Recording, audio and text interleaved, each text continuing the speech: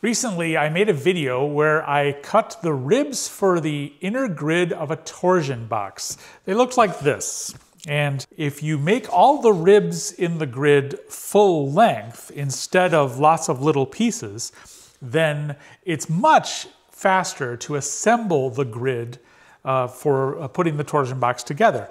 And uh, the way you do that is you do half lap joints. So now I want to show a more complete example and use it to explain what it is that really makes a torsion box stiff. In terms of stiffness and rigidity, an engineer talks about beams, and there are solid beams and there are I-beams, and a torsion box is just another kind of beam. A torsion box is not as stiff as a solid beam, but it does a fine imitation of one considering that it's mostly air. The rigidity and stiffness is mostly determined by how thick the beam or torsion box is. In terms of math, the stiffness is proportional to the cube of the thickness. Another way to say that is if you double the thickness, you make it eight times stiffer. Nothing else about a torsion box or the way you construct it is as important as the overall thickness. For example, the thickness and strength of the material you use to construct those ribs uh, of the grid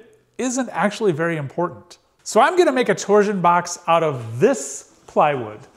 This stuff is 4.8 millimeters thick in actual thickness, which is right around 3 16ths of an inch. In its current form, it is not at all rigid. I can bend it very easily. Let's find out just how rigid of a torsion box I can make using this stuff to make the ribs. Typically, people talk about building one that's two, three, four inches thick. I'm exploring the extremes here, so I'm gonna do something a little absurd. I'm gonna make a torsion box where the ribs are six inches wide. So the resulting torsion box will be six inches thick plus the thickness of the skins. So I've cut six uh, of these long pieces, eight feet long.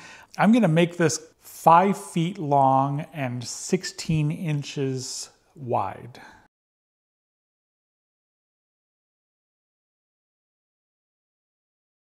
So the situation here is a bit different than the previous video because the trenches I need to cut to go halfway through a six inch piece for a half lap joint are about three inches and my track saw can't cut a three inch depth. So what I'm gonna do this time is I'm gonna lay the boards down and cut them sort of the regular way like a cross cut, except I'm gonna stop the cut about halfway through.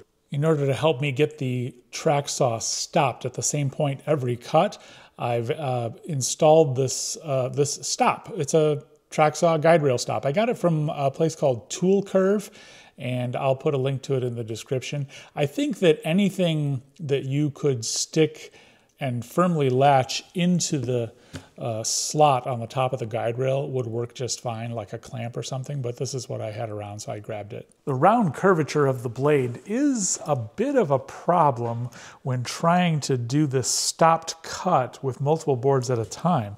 I've placed a mark here where I want the cut to stop. And I've moved the saw to the point where if I were to make the cut and stop it here, the top board would be pretty close, but the bottom board, the cut would be well short. Let's just see what happens if I try and do a stopped cut with just two boards instead of four.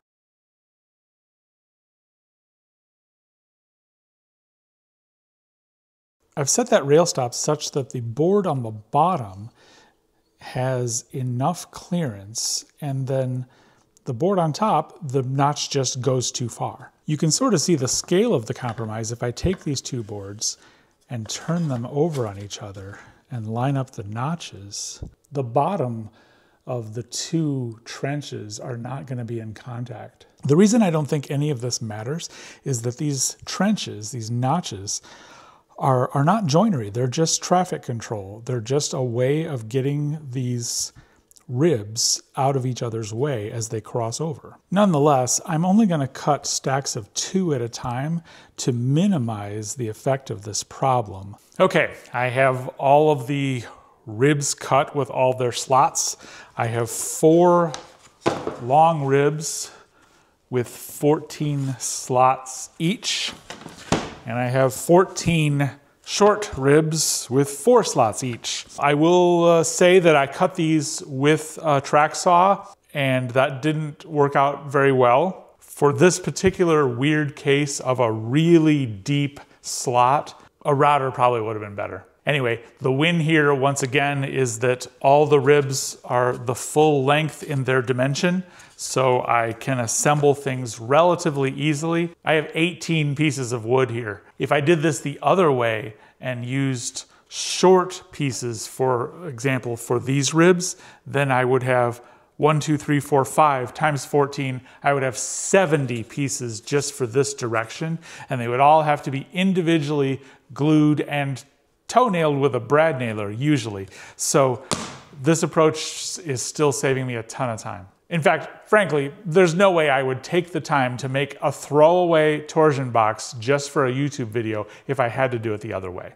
So if this all works out okay, I should be able to just assemble this by inserting all these uh, ribs into their slots and tapping things together.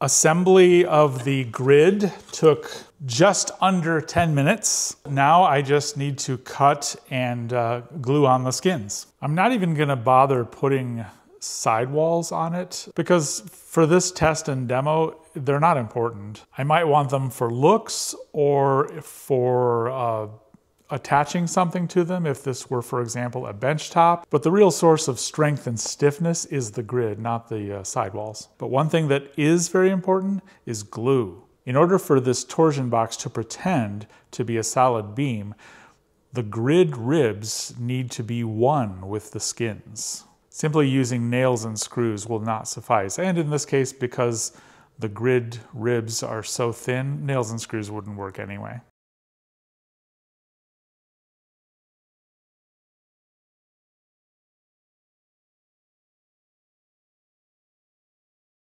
Originally, my plan was to just weight down the skins uh, in lieu of clamps, and then I did a little bit of math, and I wasn't going to get enough clamping pressure with uh, without parking like my truck on uh, on my MFT. So that wasn't gonna work. The glue bottle says wait 24 hours before stressing the glue joint, and I do plan to stress it.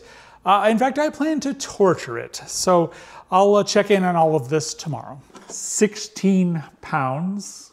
If it were a solid beam of the same size and material, it would weigh 115 pounds.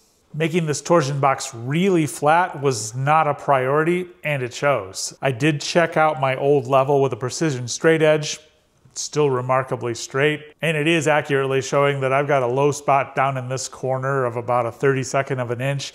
But the bulk of it from about here to here is quite flat and it's flat enough and this is accurate enough that I'm gonna be able to measure the deflection as I put some weight on this thing and see how it holds up. For testing this thing, I've moved it over to the tractor side of my shop and I've set it across two concrete blocks and I'm going to torture it by putting on these suitcase weights. These are ballast weights that I put on the back of my tractor to give it extra traction and to counterbalance heavy front loads for safety. The green weights are 70 pounds each.